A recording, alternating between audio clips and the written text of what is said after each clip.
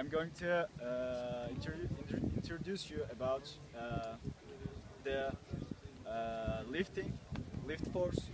Uh, to lift, uh, uh, first of all, as we know, there are four forces of flight, which is thrust, drag, lift, and what, we call Weight.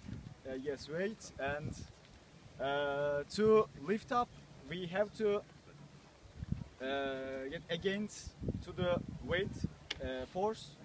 Uh, that way we can lift up. To lift up, uh, lift up. First of all, we need a thrust power.